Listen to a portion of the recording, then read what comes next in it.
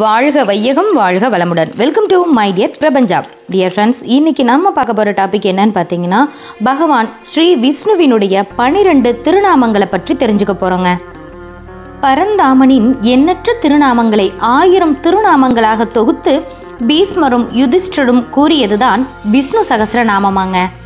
ஆயிரம் திருநாமங்களை பனிரெண்டு திருநாமங்களாக சுருக்கி சொல்லப்படுறதனுடைய பெயர் தான் பார்த்தீங்கன்னா துவாதச நாமம்.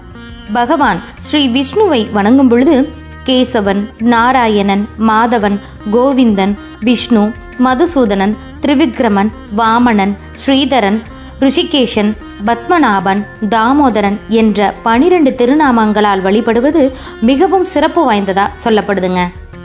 இப்ப இந்த பனிரெண்டு நாமங்களின் அர்த்தங்களை தெரிஞ்சுக்கலாங்க.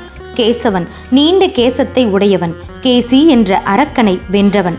மாதவன் திருமகளின் மணாளன் நாராயணன் உயிருக்கு ஆதாரமாக இருப்பவன் கோவிந்தன் பூமியை பிரளயத்திலிருந்து காத்தவன் பசுக்களை மேய்த்தவன் விஷ்ணு அனைத்து பொருள்களிலும் நிறைந்து நிற்பவன்.